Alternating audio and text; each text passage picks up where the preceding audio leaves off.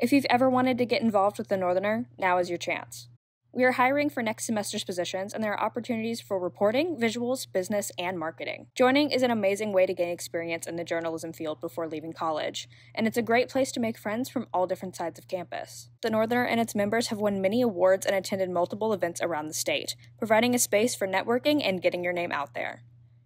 If you're interested in applying, you can check out the links in our social media at Northerner Media.